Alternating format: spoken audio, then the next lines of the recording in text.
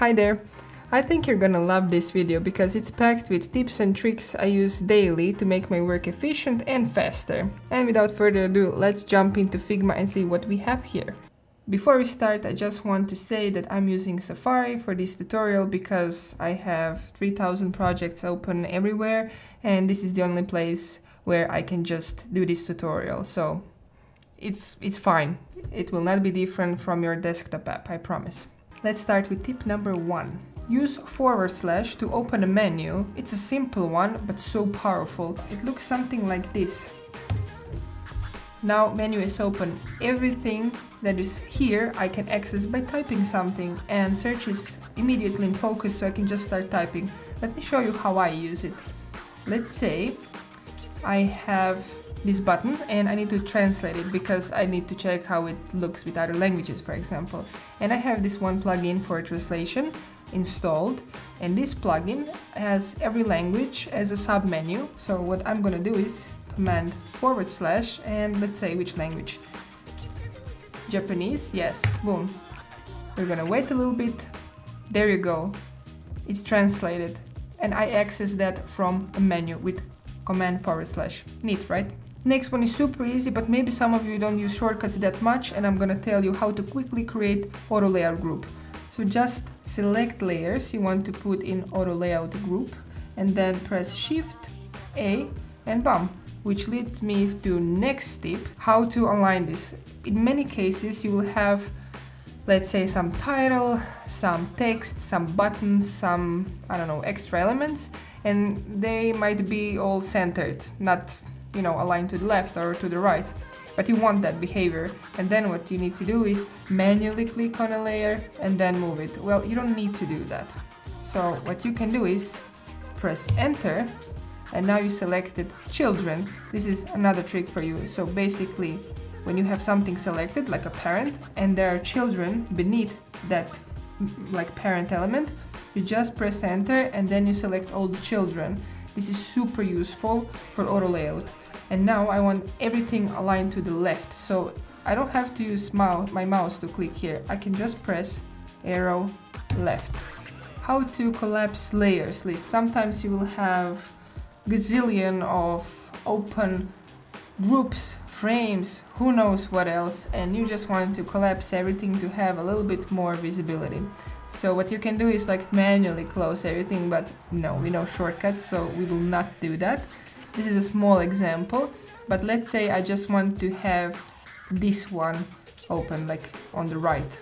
What I can do is select something inside of a card, like any child element, and then I can press Option, and then L, and then everything except this parent element will get collapsed. Maybe you're presenting something and you just want to have a little bit cleaner interface and what you can do is press Command backslash and all panels are gone. You just have your canvas with your elements. If you want to uh, return all the panels again, command backslash, they're back again. One note here, if you're using 1Password um, password manager, it will clash with their shortcut to open their widget for, you know, password filling. What you can do is you can reassign whatever 1Password uses to be something else. I did that and now both apps work just fine. My seventh tip is all about how to navigate your layers panel and for example rename them without using mouse. Let's start. So first with tab you move between siblings. So these two cards are siblings. And as you can see, I already changed names for the this right card over here, and I want to do the same for the first one. So what I'm gonna do is, I'm just gonna press enter, as we mentioned before. Now we are, um, we, are we have children selected, and what I'm gonna do is press tab again to select only one. And then, well, because I'm in Safari, I need to press Shift Command R to rename, otherwise it's just Command R, but okay. And I can put, let's say, title, enter, tab again, rename, image, enter. How do you go back? Shift, enter. Now you're again at parents which are siblings at the same time and you can switch between those. This is how you can quickly rename stuff without leaving your keyboard and using your mouse super fast. My eighth tip is how to create batch components. You probably know all about it, but I'm just gonna repeat for those in the backseat. So I'm gonna rename this because naming structure really matters and I'm gonna call it, let's say, card long, long, tab, card short. And what, what I'm gonna do is I'm gonna select both of those, create multiple components. That's it, now you have it. That's very useful if you're creating a design system and then first you create a lot of variations of something. So if you don't want to, you know, just create instances, detach because you want to have your styles copied from the previous one, it's a, it's a whole mess. You don't want to do that. Just create everything and create batch components in the end and you're set. My ninth tip for you is regarding zooming.